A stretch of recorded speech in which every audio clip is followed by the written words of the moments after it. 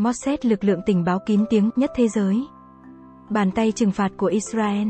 Mossad có từ đầu thế kỷ 20 nằm trong Haganah, một tổ chức bán vũ trang bí mật của người Do Thái trong vùng đất ủy nhiệm của Anh tại Palestine từ 1920 tới 1948. Sau này trở thành hạt nhân của lực lượng quốc phòng Israel. Vai trò ban đầu của Haganah là trấn áp những người Arab tấn công họ trên đường di cư trong khu phố và xúc phạm đến hội đường Do Thái giáo vì không thích dòng người Do Thái đổ về từ châu Âu. Trước những hành vi đó, cảnh sát erop nhắm mắt làm ngơ, cho nên người Do Thái đành tự mình bảo vệ. Haganer cũng theo dõi những ai gây cản trở cho việc thành lập nhà nước Do Thái độc lập kể cả những người Do Thái chưa tin rằng dân tộc mình có thể trở lại vùng đất thánh. Sau những vụ chống người Do Thái năm 1929 một tuần làm chết 133 người và bị thương hơn 300 người, Haganah chuyển từ nhóm báo thù thành một tổ chức có hầu hết cư dân Do Thái lớn tuổi ở Palestine tham gia. Sai, một chi nhánh của Haganah, trở thành hạt nhân của tình báo Israel hiện đại. Năm 1948 thành lập nhà nước Israel độc lập, những cựu thành viên của tổ chức phục quốc Do Thái chiếm vị trí then chốt trong tình báo. Với những nguyên tắc căn bản, chọn phương pháp đấu tranh du kích và kỹ thuật phòng ngừa có mục tiêu, giết người có chủ đích.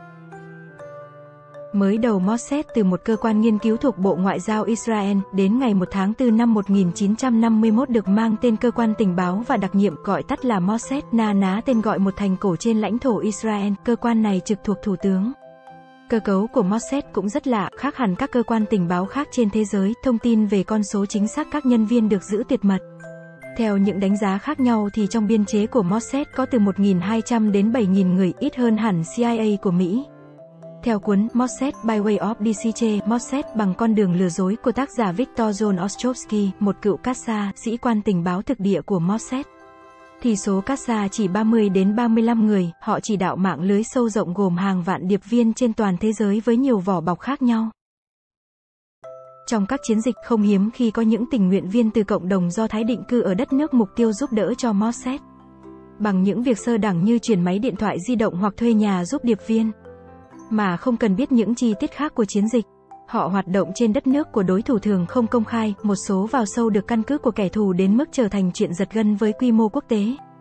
Trường hợp với Eli Cohen là một ví dụ khi trong thập niên 1960 giành được sự tin cẩn của các quan chức cấp cao Syria, trở thành nhân vật số 3 trong danh sách ứng viên Tổng thống Syria ít lâu thì lộ tẩy, bị tử hình.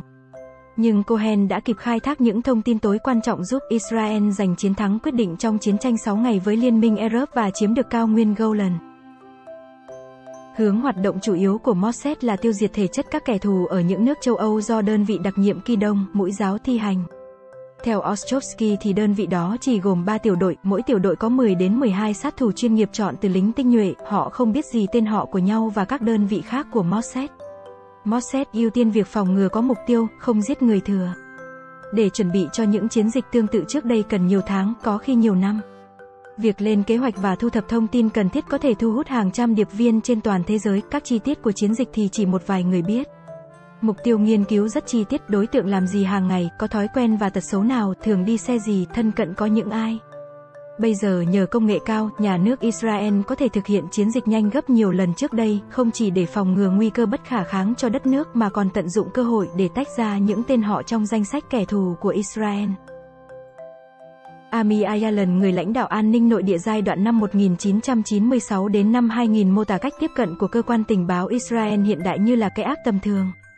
Trong hồi ức của những cựu tình báo dò dỉ trên báo chí, không hiếm khi thấy tình báo Israel sử dụng vào chiến dịch những tiếp thuốc đánh răng và thỏi sô-cô-la có chất độc máy điện thoại di động phát nổ.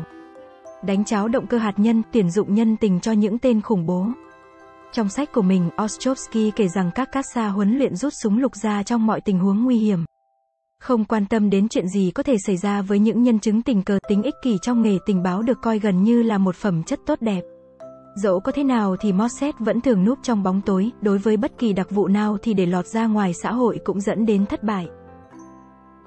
Tình báo ngoại biên Mayer Dagan, người cầm đầu lực lượng tình báo ngoại biên Israel giai đoạn năm 2002 đến năm 2011 đã nói khá thẳng, chúng tôi không phải Mỹ quốc và nếu như chúng tôi tiếp tục cho rằng mình có thể làm ngay tất cả thì cuối cùng cũng chả tính gọn được việc gì. Trong nhiều chục năm, các tình báo viên của Mossad tìm kiếm rất có phương pháp kẻ thù ở những nước châu Âu, đó là bọn phát xít tội phạm chiến tranh. Kể cả người ra quyết định cuối cùng về vấn đề do Thái là Adolf Eichmann.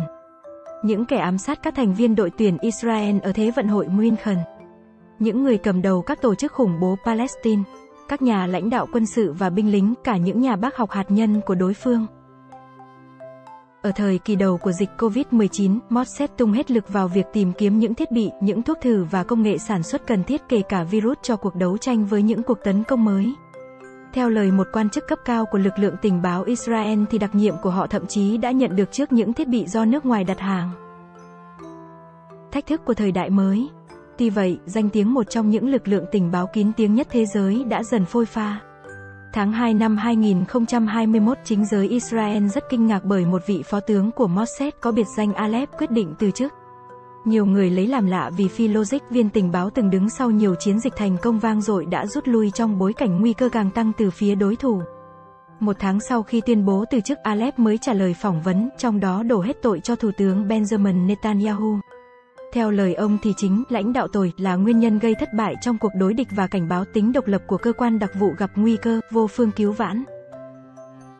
Giữa tháng 3 năm 2021 mọi chuyện vỡ lở. Khi nhiều người biết người đứng đầu cơ quan tình báo Yossi Cohen đã thề trung thành với vợ ông Benjamin Netanyahu để được nhận vị trí hằng mong ước. Cả Cohen, cả bà Sarah Netanyahu tất nhiên phản bác tin đồn đó, nhưng ở Israel người ta lo rằng dưới sự lãnh đạo của Cohen, Mossad sẽ biến thành công cụ của thủ tướng và sẽ thi hành mọi mệnh lệnh của ông, ngay cả khi việc đó đi ngược với lợi ích dân tộc. Bản thân Cohen thì xem mối nguy chủ yếu ở công nghệ cao high-tech.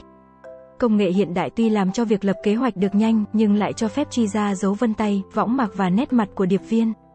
Công nghệ phát triển quá nhanh đã tạo nên nạn thất thoát nhân sự. Tình báo Israel thậm chí còn tìm đến một phương tiện hoàn toàn không theo quy chuẩn đó là phim truyền hình nhiều tập.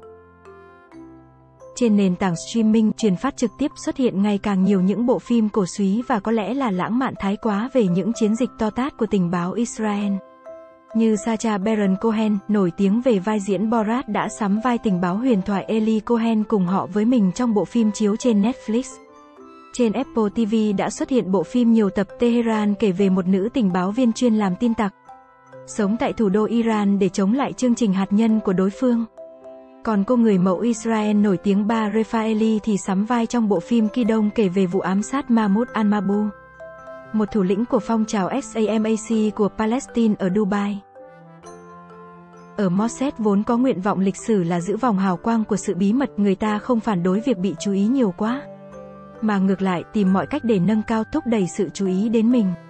Mục đích là để thuyết phục giới trẻ rằng hãy làm việc cho Mossad thì mới có những pha cực kỳ bất ngờ và thú vị. Nghe theo lời cổ vũ, tuổi trẻ có thể vào website của Mosset để điền vào đấy một bản tự khai đặc biệt của người tuyển dụng đưa ra. Tuy nhiên, những chương trình quảng bá cho Mosset có thể là chưa đủ. Tamir Leiberler, nhà nghiên cứu ở Đại học Bamberg, Cộng hòa Liên bang Đức nhận định rằng cơ quan đặc vụ đã không thích ứng kịp với những chuyển động địa chính trị diễn ra trên thế giới sau khi kết thúc chiến tranh lạnh. Trong cuộc chạy đua theo những chiến dịch trọng điểm, lực lượng tình báo Israel đã để tuột cơ hội cho những cải cách cơ chế quan trọng. Có thể giúp nó đứng được lâu hơn trên đỉnh vinh quang. Mossad có đảm đương được trước những thách thức mới hay là vĩnh viễn biến thành con rối của các chính khách Israel rồi thời gian sẽ cho kết quả.